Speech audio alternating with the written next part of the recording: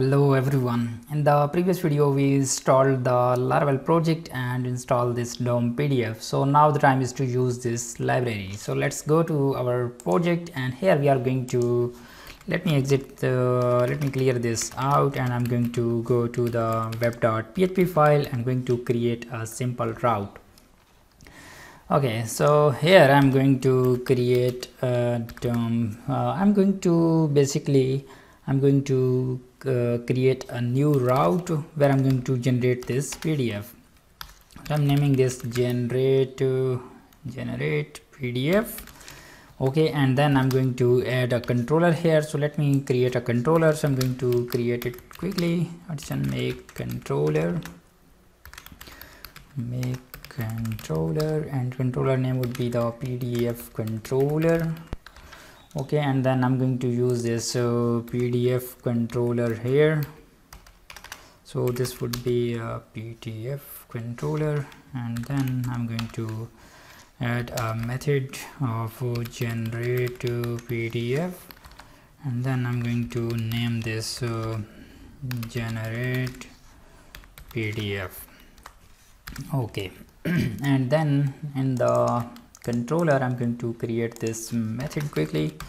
Public function. Okay it would be a function and then i'm going to define this function name. And here i'm going to execute my code right?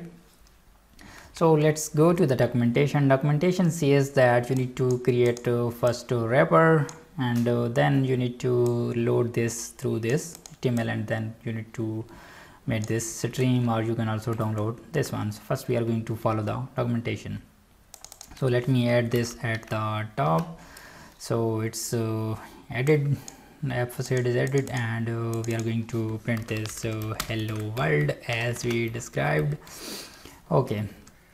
And let's go here and visit this route. So here we are going to visit the generate pdf generate pdf and hit enter. So it's going to generate the pdf and yes it's generated the pdf with the hello world.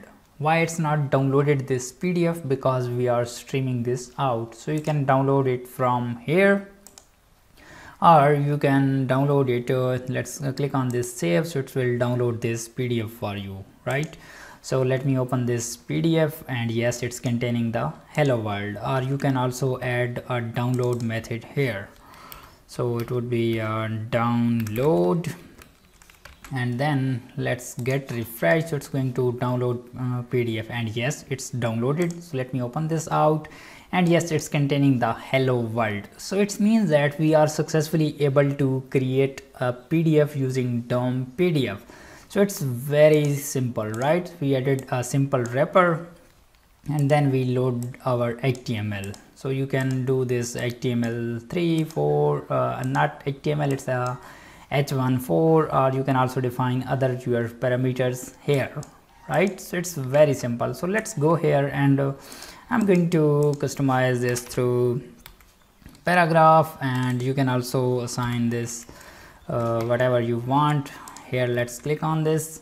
It's going to generate the PDF open this PDF and yes now it's generated as hello world and it's uh, generated as uh, h1 and it's generated as simple paragraph. So it means that you can generate any of your HTML component here. So it's totally upon you.